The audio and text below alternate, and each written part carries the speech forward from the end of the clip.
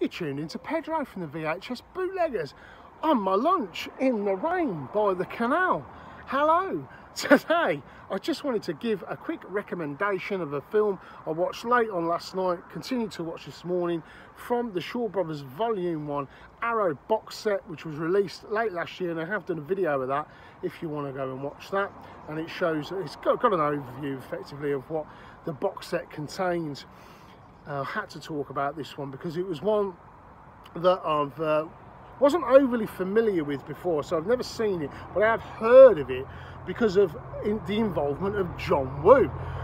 Now John Woo's like uh, sort of like an assistant director in this if you like or an action director.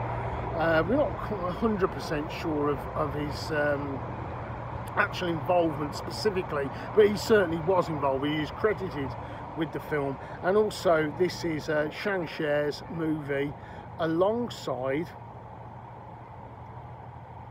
alongside before I forget mispronunciation.com here we go uh, So Shu Li. Okay so it's a co-production of sorts um, but it's got Chang Cheh's kind of visual style imprinted all over it. And of course if you know anything about John Woo Chang Cheh and John Woo um, they're synonymous in th that kind of heroic bloodshed thing. And, and it's fair to say that John Woo took a lot of his cues from Chang Cheh films in, from the uh, you know 50s 60s 70s and, and so on. And he took that and adapted it into his own uh, like heroic bloodshed gun gun fu style you know but this isn't a kung fu film. It is a historical epic effectively set in Shanghai and our lead character played by again butchering pronunciation the formidable Shang, um, Shen Quan Tai who is uh, synonymous again with a lot of Shaw Brothers pictures. He's in uh, he's in loads of them I've got to say this might be his magnum opus in a way because he really is he, the star of the show quite frankly. He plays a really brave heroic character who's an absolute wonder a, a marvel a bloody genius at the martial arts and just incredibly tough and strong.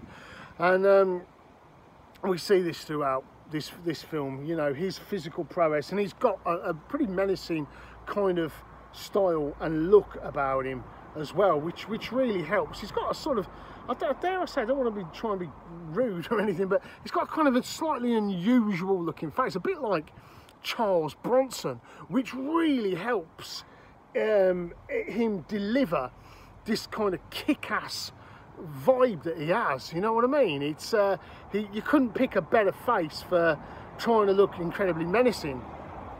Uh, but also he's a good guy okay so he's he's got very deep morals. So basically the story is he arrives in Shanghai with his friend.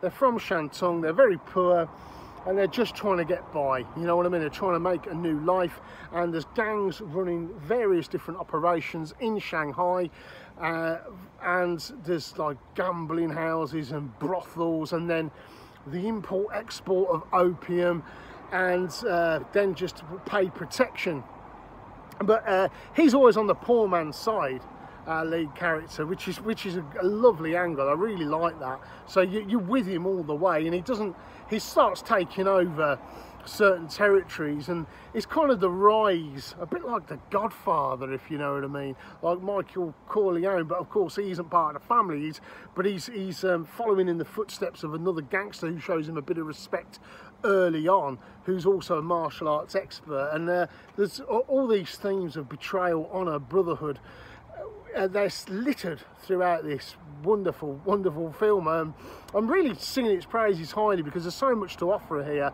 You do get them sort of slow uh, slow motion shots. The action is utterly is in abundance and it's beautifully choreographed and shot.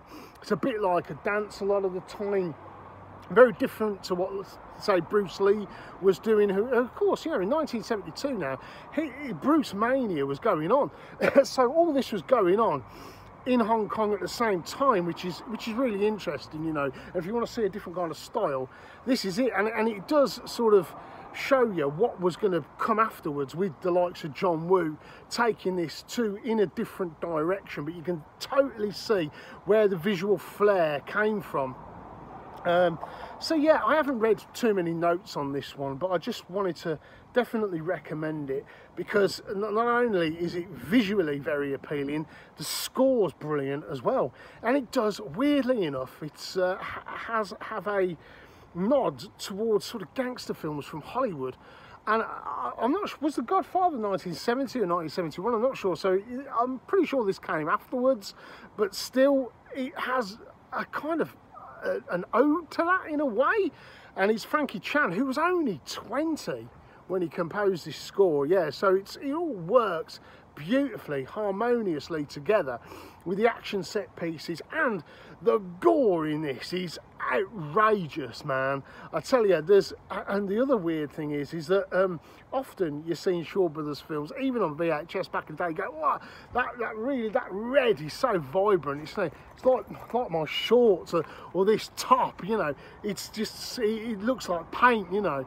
But this one, it isn't at all. They use a different kind of shoe. So that's interesting. If anybody's got any information about that, or is it just the, the grading, or perhaps it's the way Arrow released it. But as I say, I do remember the extreme bright red um, it, it, on VHSs back in the day. So yeah, so much good things to say about this film. Um, I just recommend you go and watch it. A lot of really great themes, some deeply masculine themes, I would suggest. Um, but if, if you're a woman, I'm sure you'll get something out of this as well. You know, uh, my missus liked it, so that's a that's a good good sign, isn't it? You know, she enjoyed it, the action set pieces, and it's a sim very simple simple story.